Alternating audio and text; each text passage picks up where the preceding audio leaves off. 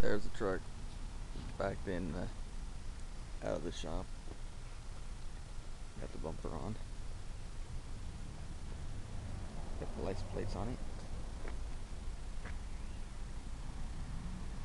Got the John Deere plate on it. I'm gonna get another one to put my back when I do the bed. We can see now it's inside. I got that. Got the gravel pan weld. I just gotta grind it down. Grind the welds down. I got a free. Well, this back back and cut this out and put a new piece in. Get that all situated. Put the roof back. Put the roof on. Lower the roof patch back on. So got more welding to do and grinding to do. Get it done. Little by little. I like how low she is. I'll give you a picture, a video, show of it when it's went from it. Look at that. Look at that. The guys look so sick. I like that. It's bad.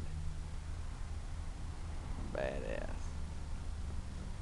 Alright, I'm, I'm gonna paint, paint a airbrush um, the sign, the John Deere logo on the, on the side of it. So it'll look nice.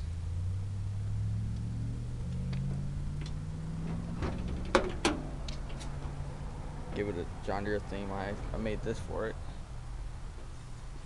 The uh, steering column my bracket made it.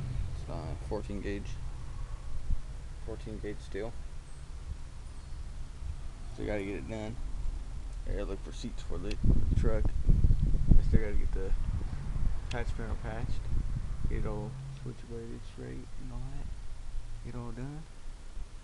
Here we go. Wait, have to take take this off. Don't need it. Stuff that I don't need. I got the uh, the visors uh, off of it right now, getting worked on. But let's show you what I did.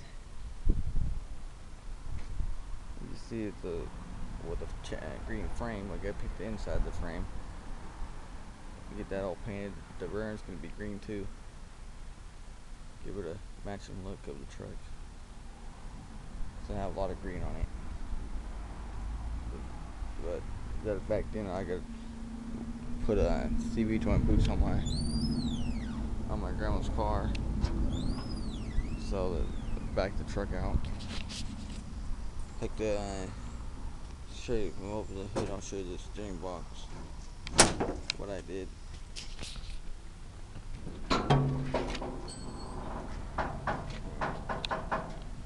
Steering arm I made right there.